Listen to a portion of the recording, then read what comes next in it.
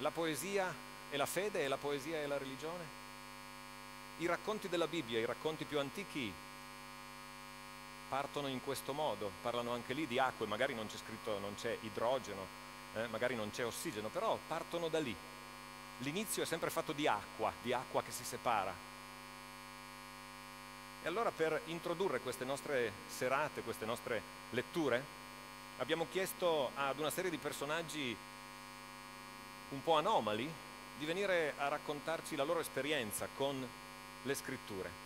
E il primo personaggio che abbiamo invitato è proprio uno scienziato, uno scienziato per commentare la Genesi, uno scienziato che se ne intende di tempo e che se ne intende di origini. Tullio Regge.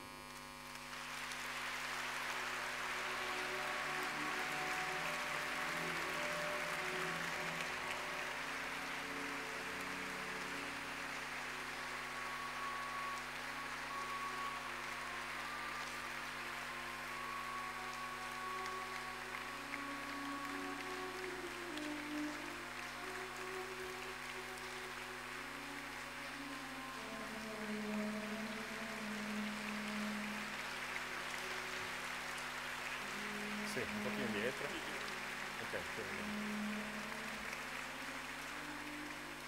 si è portato anche, anche, la borsa, ho visto. Eh. Sì, sì, ma c'è un libro poi dentro. Ah, cioè, è, soltanto per figura, no? Poi non... non... Eh, va bene, adesso lo chiamiamo. Vabbè, comunque, come vuole.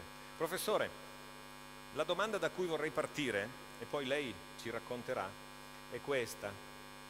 Ma per uno scienziato, per un uomo come lei, che ha lavorato tutta la vita eh, proprio come, come fisico, i racconti della Bibbia, i racconti delle origini, la Genesi in particolare, perché stasera parliamo di quello, sono soltanto delle belle favole antiche oppure possono essere anche qualche cos'altro?